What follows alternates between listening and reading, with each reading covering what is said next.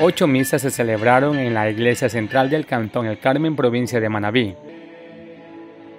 A las 6 de la mañana empezó la primera celebración eucarística con gran afluencia de católicos.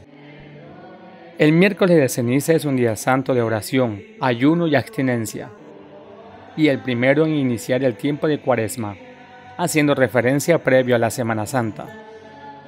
Los fieles conmemorarán la pasión y muerte de nuestro Señor Jesucristo.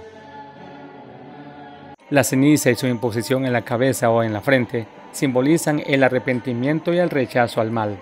Son 40 días de conversión y penitencia antes de la Pascua de Resurrección.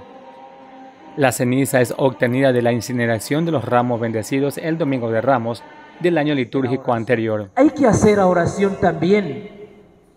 Hay que salir de tu casa para ir a la iglesia y hacer oración tú solo, tú sola.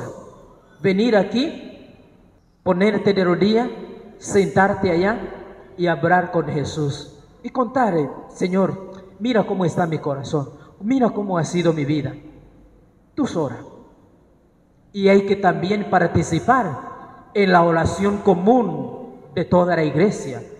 No basta orar solo, hay que también orar con los demás, porque somos una sola familia, la familia de Dios. Con frases como oración es tiempo de cuaresma, cuaresma un tiempo para amar a Jesús, nadie tiene amor más grande como el que da la vida por sus amigos, entre otras, son evidentes los mensajes en el interior del templo, viviendo así este momento especial en la vida del ser humano y su verdadero valor a vivir como hijos de Dios. Dios Todopoderoso, Padre, Hijo y Espíritu Santo descienda sobre ustedes y permanezca siempre.